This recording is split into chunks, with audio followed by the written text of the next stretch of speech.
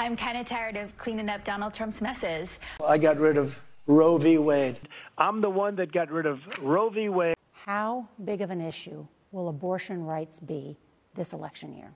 It's going to be an incredibly significant issue because on its own, it's about freedom. And the extreme MAGA Republicans have set in motion the erosion of reproductive freedom. We're going to fight for it with everything that we've got at our disposal. If Roe v. Wade can fall, anything can fall. Social Security can fall. Medicare can fall. Voting rights can fall. And God help us all, but democracy itself can fall. If Roe v. Wade can fall, then anything can fall.